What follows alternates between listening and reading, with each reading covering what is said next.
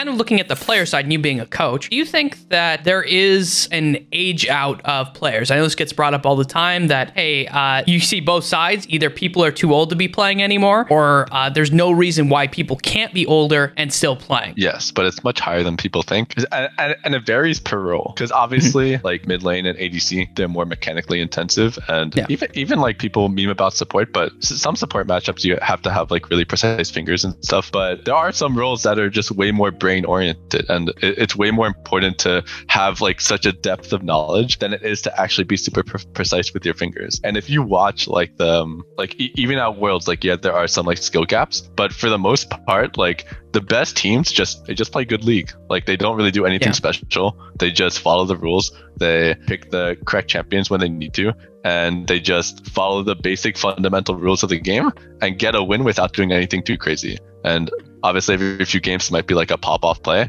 but for the Yeah. most part, it's just you know just just play play the matchup correctly. You don't need amazing fingers to do that. So so I do think there is an age cutoff, but it's it's definitely not as young as people think it is. Like Where, where do you think it is? Like, if you had to just guess, do you think I it's in the 30s? I think it's probably early 30s. Oh, hello there. I hope you enjoyed this video, so please make sure to like, subscribe, and turn on those notifications. Shout out to all my Patreons who support me. If you're looking to support me, you can find my Patreon at patreon.com slash improvblake. You can also find me streaming throughout the week at twitch.tv slash improvblake.